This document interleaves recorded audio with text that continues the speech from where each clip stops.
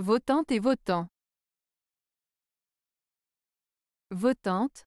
La votante est une personne de sexe féminin qui participe à un vote ou à une élection. Elle est une électrice qui a le droit de voter et d'exprimer sa voix dans le processus démocratique.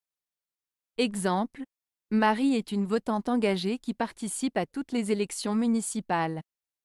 Les votantes ont joué un rôle clé dans l'élection du nouveau président. Votant. Les votants sont des personnes, indépendamment de leur sexe, qui participent à un vote ou à une élection.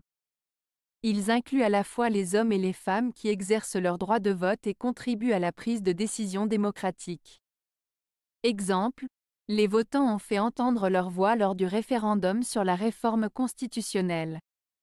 Les votants ont élu les membres du conseil d'administration de l'association. Différence La principale différence entre votante et votant réside dans le genre des personnes concernées.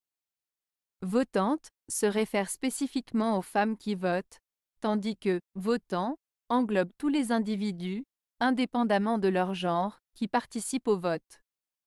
Cependant, les deux termes partagent le même objectif, qui est de participer à un processus démocratique en exprimant sa voix.